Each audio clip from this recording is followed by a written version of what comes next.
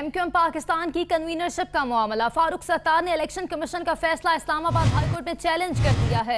Election commission के फैसले को कलदम करार देने की इस्तदा। इस्लामाबाद हाईकोर्ट फारूक सत्तार की दरखास्त पर कल समात करेगी।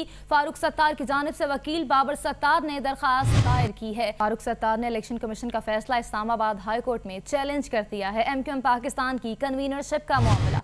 वाज रहे कि इलेक्शन कमीशन ऑफ़ पाकिस्तान की जानब से अहकाम जारी किए गए थे कि अब कन्वीनरशिप के मालिक नहीं रहे फारूक सरकार इसी पर